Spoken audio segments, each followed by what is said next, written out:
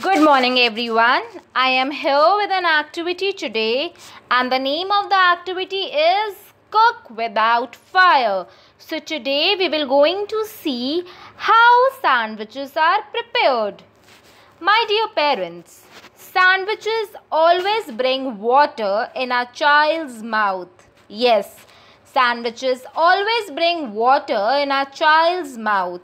Rather than serving them outside sandwiches, outside pizza, we can ask our child to create their own sandwich today.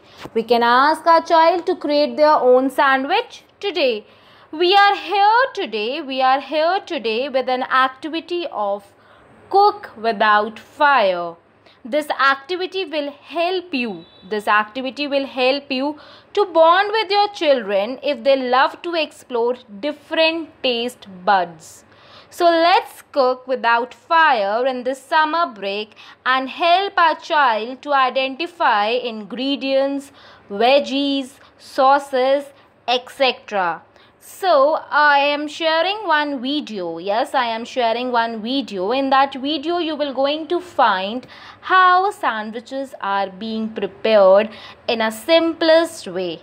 I hope you will going to watch that video. You will going to ask your child to prepare a sandwich for herself and himself. I hope it is clear. Thank you.